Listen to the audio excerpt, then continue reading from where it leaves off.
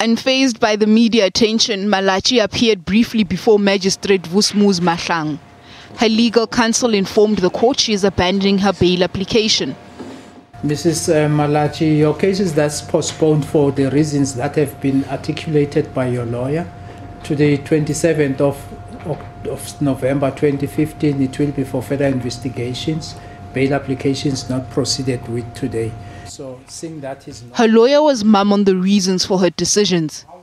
At this stage, uh, I don't have much to say because we're waiting for the instruction. So, whatever that I'll, i might say at this stage, I'll be lying because I didn't receive that instruction uh, as to what is the reason. But I, I mean, I've advanced reasons why we're no longer proceeding with bail. Forward towards Malatji was arrested after disembarking in Abu Dhabi flight at OR International Airport.